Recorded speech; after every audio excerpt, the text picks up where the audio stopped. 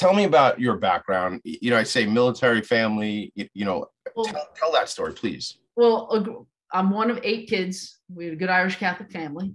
um, my father was a Marine, and the only reason why I say was is because he's guarding the pearly gates now at St. Peter. Because once a Marine, always a Marine. Uh-huh. And um, so, anyway, so we grew up. Uh, love of country, love of God. That was the way we grew up. A love of family. Those were the.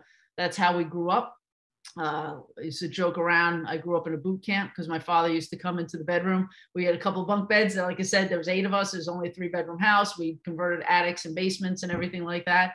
But we had four bunk beds in one room. It was four girls in one room. And he used to come in in the room in the morning and go, rise and shine, up and out and fall out, hit the deck, let's go. You know, we were like, oh, dad, come on, we're tired, you know. So, but it was, it was, it was a fun, loving way to wake up. And um, so, but he always taught us uh, to thank veterans when we see them.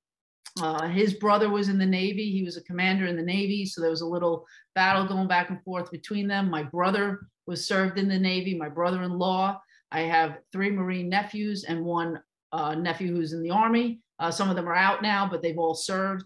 Uh, we've got first responders in my family. We've got my brothers are firefighters, my cousins are cops, my mother's a nurse. Um, my other cousin's an EMT. So we've always grown up uh, taught to serve. And that's that's my background. And it's uh